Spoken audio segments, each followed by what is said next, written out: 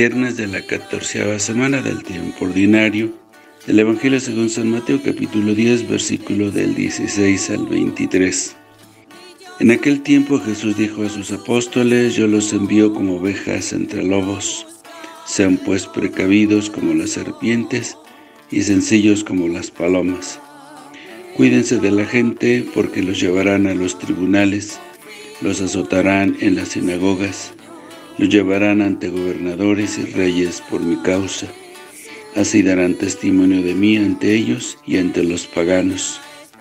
Pero cuando los entreguen, no se preocupen por lo que van a decir o por la forma de decirlo, porque en ese momento se les inspirará lo que han de decir.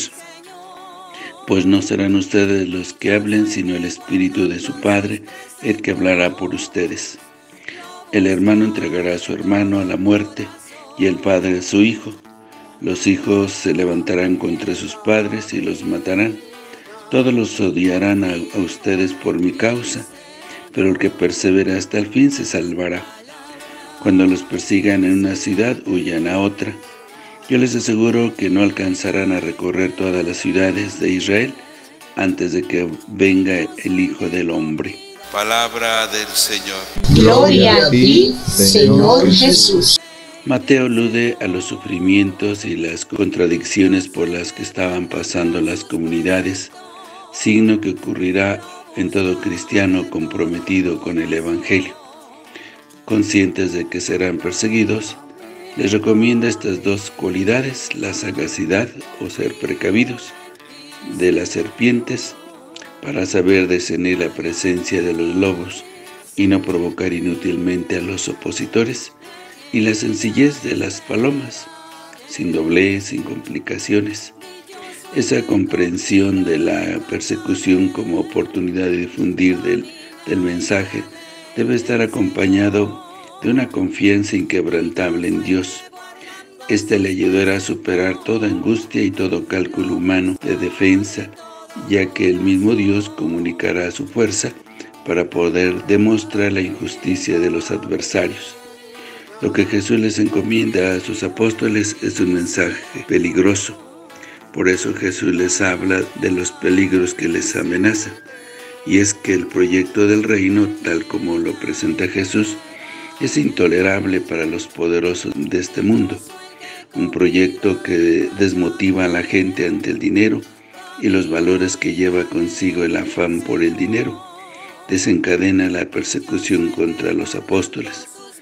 Jesús es muy claro en este punto y dice que la persecución vendrá de las sinagogas y de los gobernadores y reyes, o sea, será persecución religiosa y persecución civil, la de la propia religión, exactamente como le ocurrió al propio Jesús.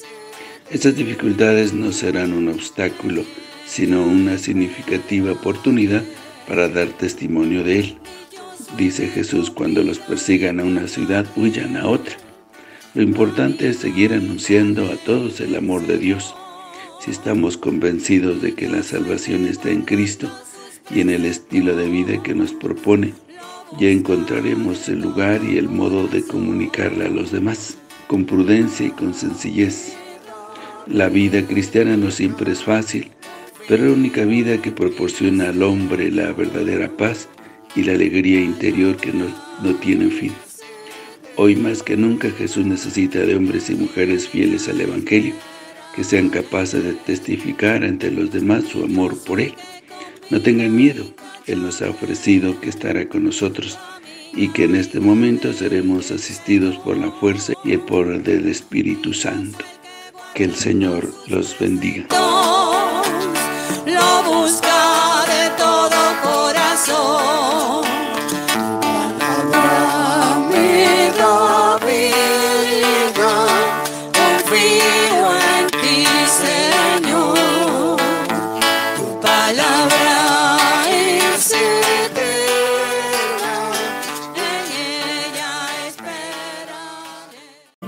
Bendición de Dios Todopoderoso, Padre, Hijo y Espíritu Santo, descienda sobre ustedes, que los acompañe siempre.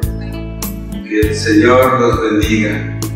Si te gustó este video y deseas seguir recibiendo el Evangelio, misa en vivo, oraciones y muchas reflexiones más, ayúdanos a seguir creciendo. Suscríbete a este canal de YouTube, activa la campana de notificaciones, deja tu comentario, dale me gusta y compártelo con todos tus seres queridos. Que el Señor te bendiga a ti y a toda tu familia. Bendiciones.